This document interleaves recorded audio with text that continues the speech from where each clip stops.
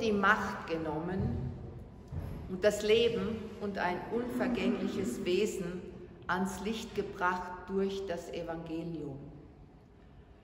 Das ist der Wochenspruch für die heute neu beginnende Woche am 16. Sonntag nach Trinitatis oder wenn wir von Weihnachten ausrechnen, dann am 24. Sonntag, äh, von Ostern, Entschuldigung, am 24. Sonntag nach dem Ostermorgen. Wir denken in diesem Gottesdienst an Frau Elfriede Obersteiner, die am 1. September im 78. Lebensjahr verstorben ist. Wir beginnen unseren Gottesdienst im Namen des dreieinigen Gottes, im Namen des Vaters und des Sohnes und des Heiligen Geistes. Amen. Ich lade euch ein zu singen, auch wenn das hinter der Maske ein bisschen blöd ist, aber der neueste Bischofsbrief hat eben geschrieben, wir sollten doch wieder FFP2 tragen, ähm, damit wir nicht ähm, jeden nachfragen, ob er geimpft oder getestet oder so ist, damit alle gleich sozusagen sind, also wem es möglich ist der möge sie auflassen. Ihr werdet das selber merken, wie es passt für euch. 361, befiehl du deine Wege und was dein Herze kränkt. 361, unser Eckbert Milonik wird die ersten beiden Strophen und die siebte Strophe spielen und auch singen.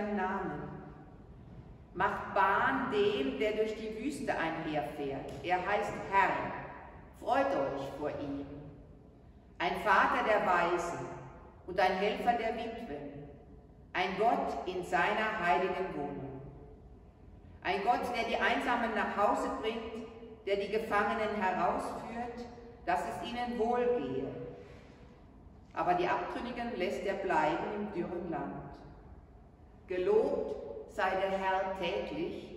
Gott legt uns eine Last auf, aber er hilft uns auch. Wir haben einen Gott, der da hilft und den Herrn, der vom Tod errettet. weiß der Beter vom Psalm 68.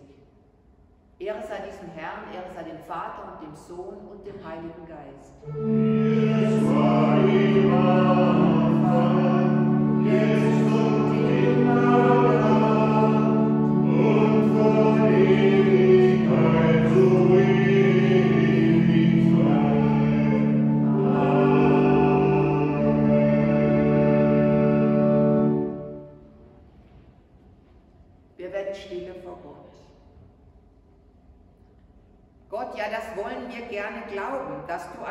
Bist, der uns hilft und der uns vom Tod errettet.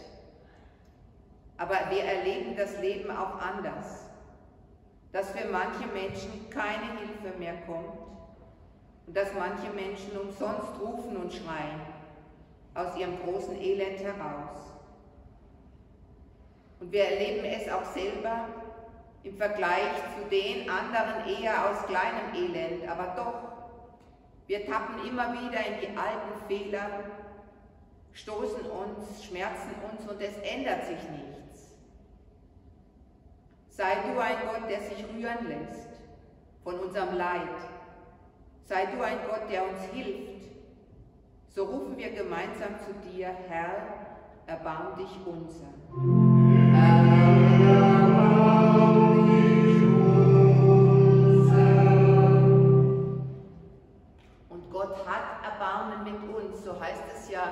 Zweiten Timotheusbrief in diesem Wochenspruch, Gott hat, Jesus Christus hat dem Tod die Macht genommen und das Leben und ein unvergängliches Wesen ans Licht gebracht durch die frohe Botschaft. So wollen wir einstimmen in den Lobgesang und singen, Ehre sei Gott in der Höhe. Und wieder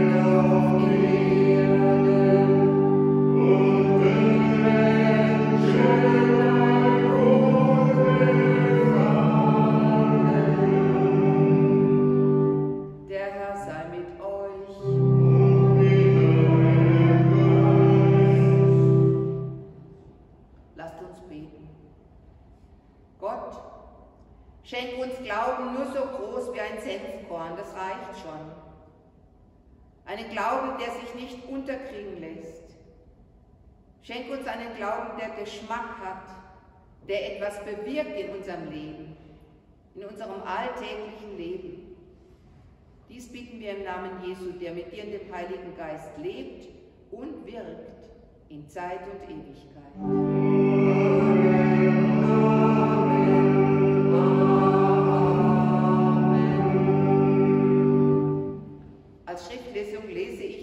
die drei Verse, die vor dem Wochenspruch stehen. Das ist nämlich so ähm, angegeben.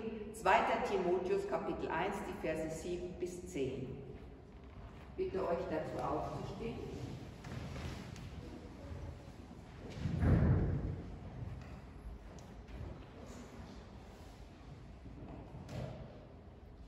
Denn Gott hat uns nicht gegeben den Geist der Furcht, sondern der Kraft, der Liebe und der Besonnenheit.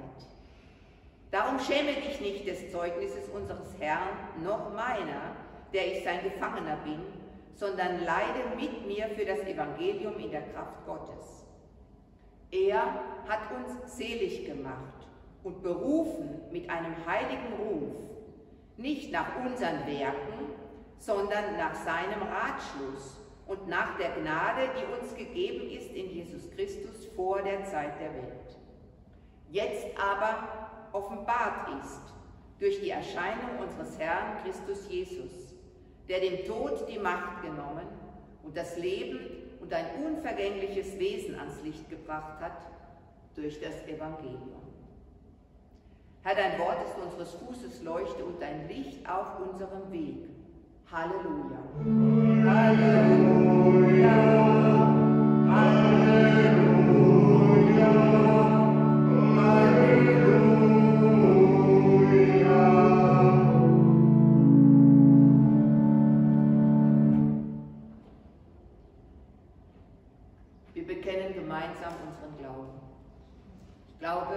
Gott, den Vater, den Allmächtigen, den Schöpfer des Himmels und der Erde und an Jesus Christus, seinen eingeborenen Sohn, unseren Herrn, empfangen durch den Heiligen Geist, geboren von der Jungfrau Maria, gelitten unter Pontius Pilatus, gekreuzigt, gestorben und begraben, hinabgestiegen in das Reich des Todes, am dritten Tage auferstanden von den Toten, aufgefahren in den Himmel.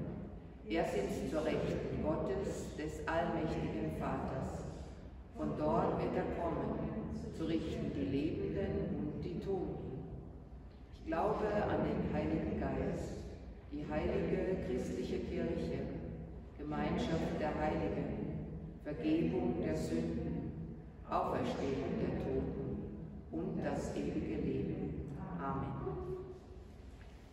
Das nächste Lied wäre die Nummer 642, 642. Da findet ihr nur eine Strophe und wir singen diese eine Strophe einfach dreimal hintereinander. 642.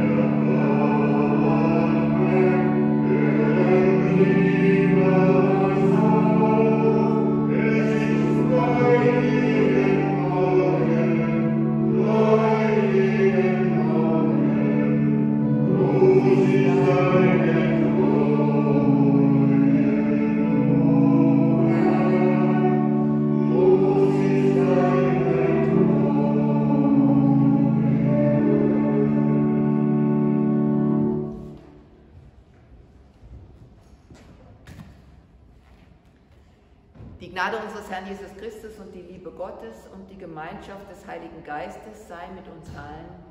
Amen. Die Güte des Herrn hat kein Ende, haben wir gesungen, verdeckt hinter diesem Mondschutz. Die Güte des Herrn hat kein Ende.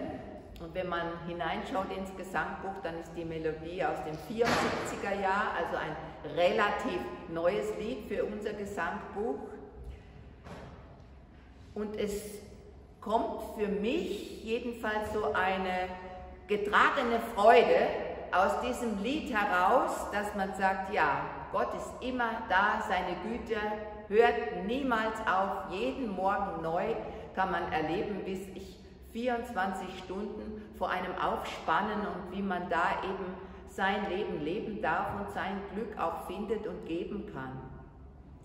Der Text bezieht sich auf eine Stelle aus den Klageliedern, aus dem dritten Kapitel von insgesamt fünf Kapiteln, die ich euch vorlese, die eben der Predigtabschnitt, äh, die Grundlage des Predigtabschnittes für den heutigen Sonntag sind. Ich bitte euch aufzustehen, ich lese.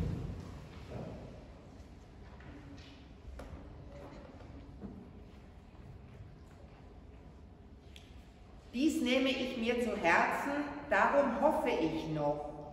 Die Güte des Herrn ist, dass wir nicht gar aus sind. Seine Barmherzigkeit hat noch kein Ende, sondern sie ist alle Morgen neu und deine Treue ist groß. Der Herr ist mein Teil, spricht meine Seele, darum will ich auf ihn hoffen. Der Herr ist freundlich dem, der auf ihn harrt und dem Menschen, der nach ihm fragt. Es ist ein köstlich Ding, geduldig sein und auf die Hilfe des Herrn hoffen. Es ist ein köstlich Ding, denn der Herr verstößt nicht ewig, sondern er betrübt wohl und erbarmt sich wieder nach seiner großen Güte. Denn nicht von Herzen plagt und betrübt er die Menschen. Soweit das Wort der Schrift, Herr, segne du an uns dein Wort. Amen.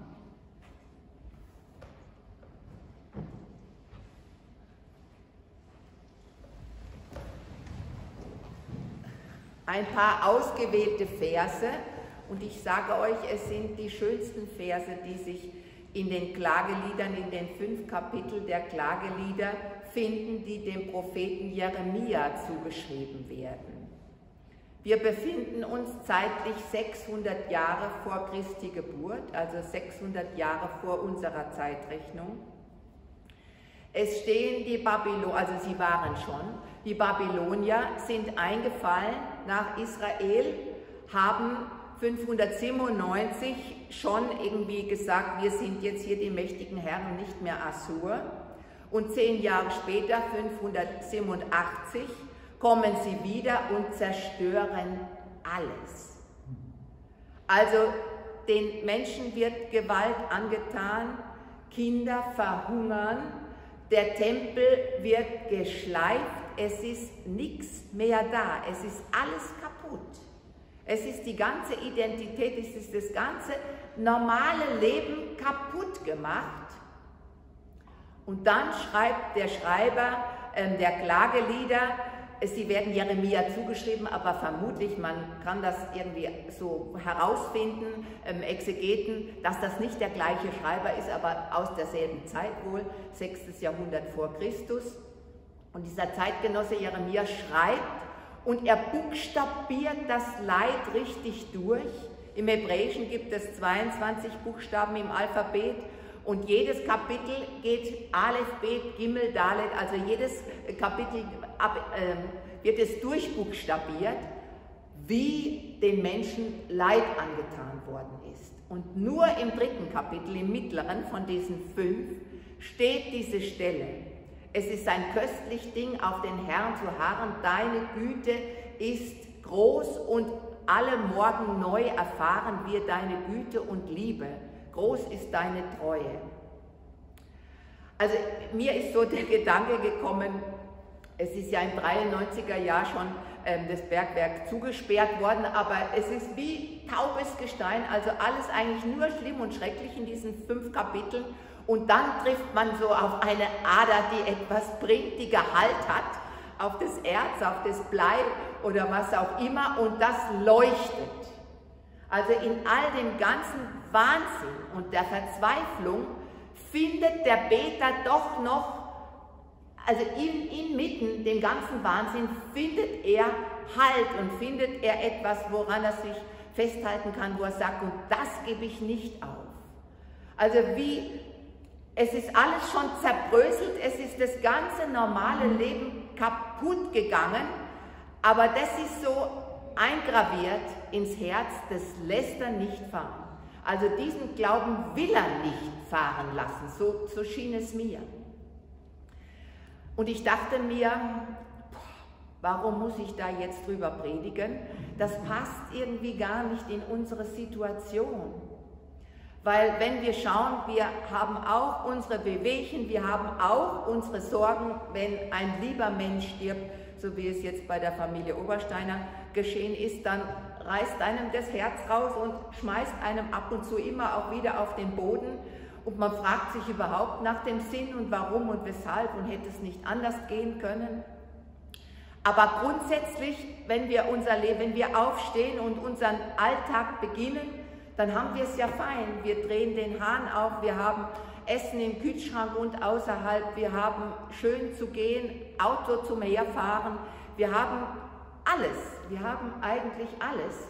Und diese Situation ist gesprochen ähm, aus, aus diesem Umfeld heraus, es ist nichts mehr da. Und ich dachte mir, für wen ist das dann eigentlich heute, im Jahr 21? Und dann fällt einem natürlich sofort wieder Afghanistan ein und die Syrer fallen einem ein und vielleicht auch eben die Russen, die jetzt wieder wählen und aber auch nicht so frei wählen können, wie wir das tun können.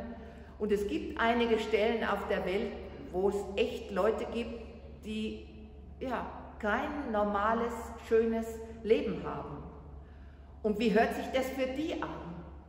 Wäre das wirklich für die Christen in Afghanistan? Ist das ein Wort, das sie auch halten können, wo sie auch Kraft gewinnen können und wo sie nicht verzweifeln müssen? Oder klingt das für die wie Hohn und sie sagen, nee, bei uns geht gar nichts mehr, wir müssen schauen, dass wir vielleicht noch irgendwie wegkommen, wenn es irgendwie geht. Also was nehmen wir jetzt hier mit? Hier, wir hier in Kärnten, wo es uns fein geht, wo es uns gut geht. Also ich für mich so habe so gedacht, es ist die Essenz, es ist das Eingemachte, das uns hier der Beter preisgibt, weitergibt, der sagt, und wo schon alles andere kaputt war, habe ich mich trotzdem noch halten können oder es mir einfach vorgesagt und ich will es auch glauben. Ja, wenn man es vielleicht auch gar nicht mehr glauben kann, aber das will ich nicht fahren lassen. Meinen Glauben, dass Gottes Güte da ist und dass er uns nicht ewig zürnt, weil die Leute damals, im 6. Jahrhundert vor Christus, haben das auch wirklich so gesehen als ihre Schuld.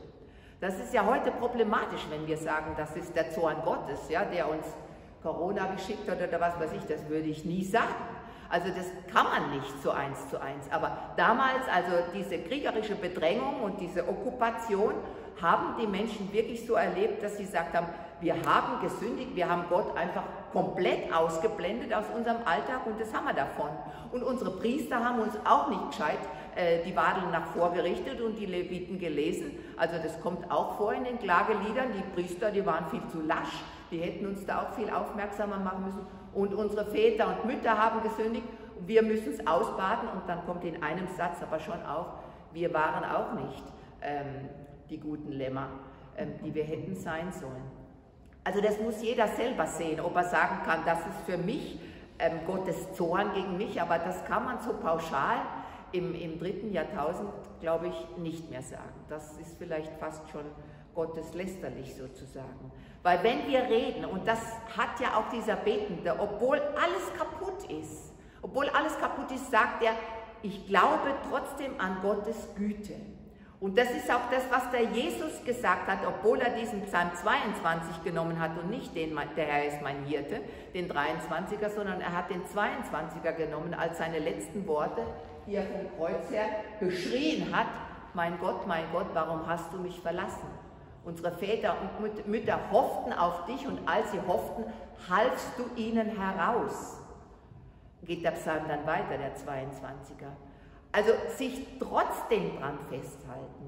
Und das ist auch das, was ich bei der Elfriede Obersteiner gesagt habe, bei der Beerdigung, weil man hofft immer, dass alles gut wird, dass alles wieder so wird wie beim Alten. Und manchmal ist es aber auch gut, wenn man die Grenze überschreitet und wenn es dann einfach weitergeht in anderen Dimensionen, die wir uns nicht wirklich ausmalen können, wo wir nur so ein paar Fleckchen in der Bibel finden, wie es dann sein wird. Aber der Glaube, den auch Jesus gehabt hat, an einen Gott, der es gut mit uns meint. Und auch wenn Tod und Teufel los sind und uns piesacken und in die Enge bringen, dieses quasi Senfkorn an Glauben nicht zu verlieren und zu sagen, und ich glaube trotzdem. Und ich glaube trotzdem. Es war in einer Predigthilfe, die blätter ich ja immer durch und viel haben sie mir dieses Mal irgendwie nicht gesagt, aber ein Gedanke fand ich in dieser Situation einfach auch passend. Viktor Frankl, äh, Psychotherapeut ähm, und Psychiater, ähm, hat, war auch eingesperrt ähm, im Konzentrationslager und er hat geschrieben, wie haben wir uns über Wasser gehalten. Also er hat ein Buch geschrieben, trotzdem Ja zum Leben sagen. Also die Hölle in Auschwitz miterlebt zu haben und trotzdem Ja zum Leben sagen. Und er sagt, Sie haben immer versucht, irgendwie etwas Gutes nur am Tag zu sehen. Und wenn Sie ein Kartoffelstück in der dünnen Suppe gefunden haben, war es sozusagen schon ein positives, gutes Zeichen und ein Hoffnungssteinchen. Oder zu sagen, meine Schuhe sind noch intakt, ich kann mit denen gehen. Oder eben ein schöner Morgen, ein schöner Sonnenaufgang. Und nur so die kleinen Dinge, die für uns ja, ähm, ja selbstverständlich und noch mehr sind, einfach, ja, die wir gar nicht beachten. Und sich an diesen kleinen Dingen noch festzuhalten, um nicht irre zu werden, um nicht zu verzweifeln in dieser schlimmen Situation. Also wir haben es im Gegensatz zu dem, der hier schreibt, super, giga, ultra gut. Und vielleicht könnten wir diesen Sonntag nehmen, um uns ein bisschen mehr darauf einzulassen, auf die Leute, denen es eben nicht gut geht. Und dass wir an sie denken und dass wir für sie beten und dass vielleicht irgendwo sich was aufmacht, dass wir auch da das unsere dazu tun können. Und wenn es nur ist, einfach ein Bewusstsein zu entwickeln, dass es auch andere Menschen gibt, die wirklich am Strohhalm oder am Senfkorn sich festhalten und leben wollen. Das ist das, was, was ich heute da rausbekommen habe. Ich weiß nicht, wie ihr tut. Also die, der Text ist wunderschön, aber wie gesagt, eingegossen in, in ein großes Klagelied. Trotzdem dieser Glaube, der herausfunkelt und der sagt, und ich lasse den Glauben nicht fahren. Ich will mich daran festhalten, das richtet mich auf. Amen. Jetzt haben wir ein Lied, das spielt der Eckbert uns die Nummer 199. Das sind nur ganz mini kurze Strophen und deswegen nehmen wir alle fünf. 199, Gott hat das erste Wort.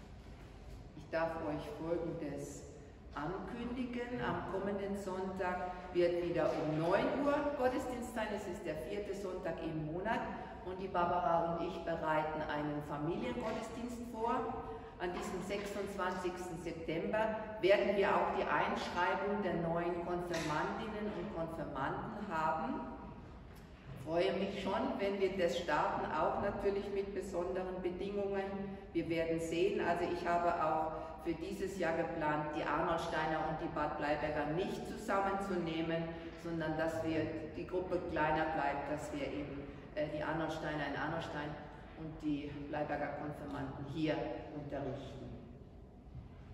Und jetzt darf ich euch bitten, aufzustehen. Wir gedenken an Frau Elfriede Oberstein.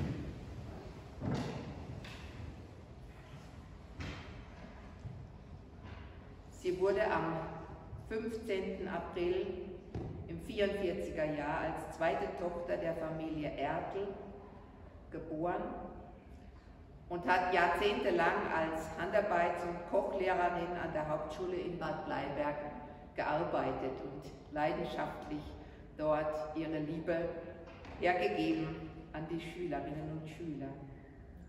Schon jung hat sie den Buschauffeur Alfred geheiratet und mit 26 ihren Sohn Helmut zur Welt gebracht.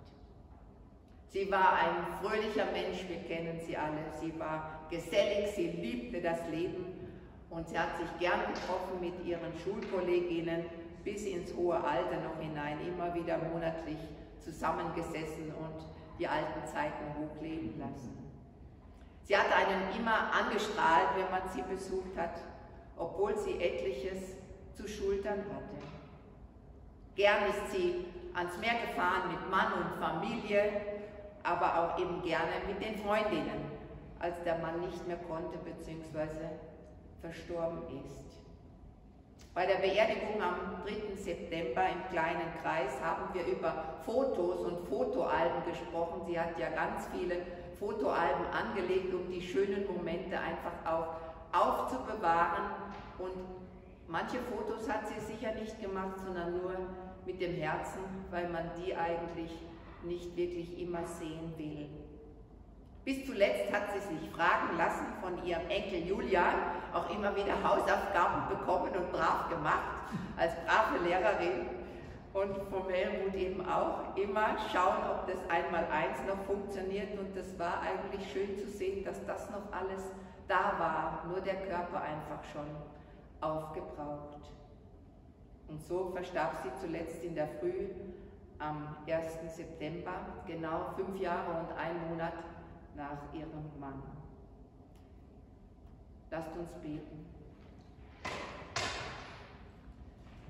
Barmherziger Gott, wir danken dir, dass dir mit Elfriede Obersteiner so ein wunderbarer Mensch gelungen ist. So ein lebensbejahender, fröhlicher, ausstrahlender Mensch. Und wir danken dir für alles, was sie weitergeben konnte was sie uns gezeigt hat, wo wir uns ein Scheibchen von ihr abschneiden wollen. Wir bitten dich für ihre Familie, bleibe bei ihnen. Tröste sie und stärke sie, wenn eine Flut der Trauer wieder über sie drüber schwappt.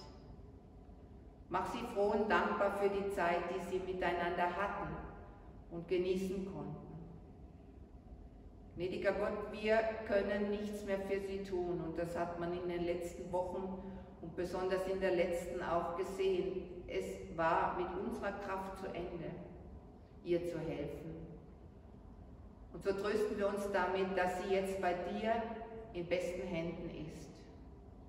Dass sie diese neue Welt erlebt, vor der wir noch davor stehen, wie vor einer großen Mauer. Dass sie erlebt, dass es ein anderes Leben gibt, ein wirklich unbeschwertes und ungetrübtes. Und dass wir uns dann irgendwann einmal dort alle wiedersehen und wieder erkennen werden und uns nur noch miteinander freuen.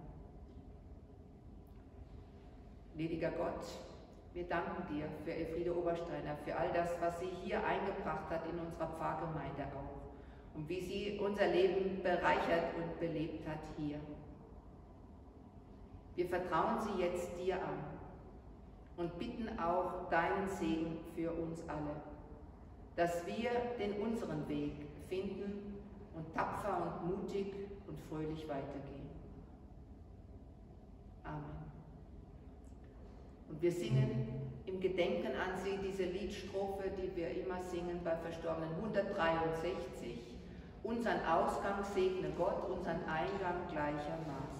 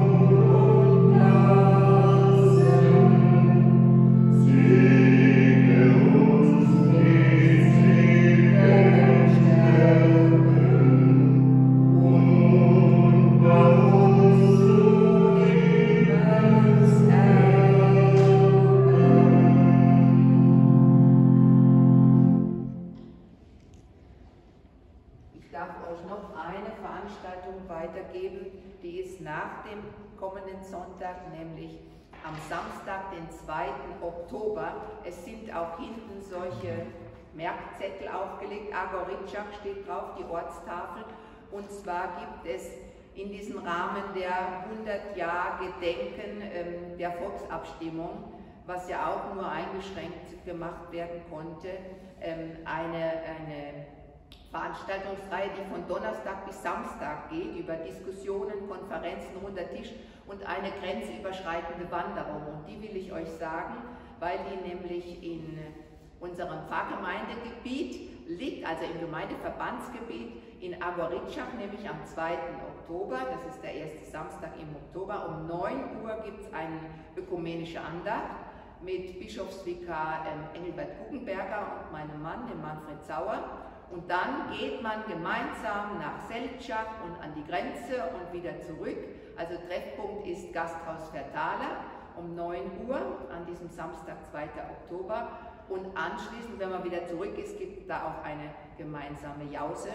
Und das Ding ist sozusagen eben versuchen, Grenzen zu überschreiten oder darüber zu reden, wo sind noch die Grenzen in unserem Kopf, eben gemeinsam unterwegs zu sein.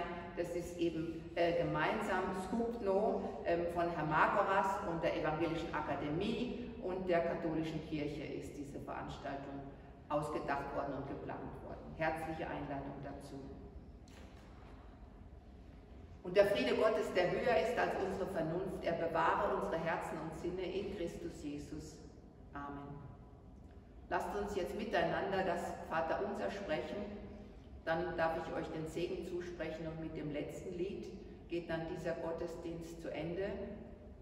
Wir wissen, wir haben einen Schatz in uns und der soll nicht verwildern und zuwachsen und da soll nichts drauf sich stellen, dass wir gar nicht mehr hinkommen, sondern die frohe Botschaft will aus unserem Herzen herausleuchten und will uns Kraft geben in jeder Situation. Vater unser im Himmel, geheiligt werde dein Name, dein Reich komme, dein Wille geschehe, wie im Himmel so auf Erden. Unser tägliches Brot gib uns heute und vergib uns unsere Schuld wie auch wir vergeben unseren Schuldigern. Führe uns nicht in Versuchung, sondern erlöse uns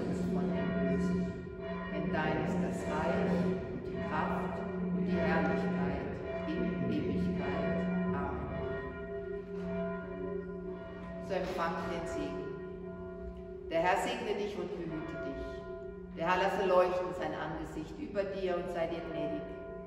Der Herr lege sein Angesicht an das deine und du bist im Frieden. Amen.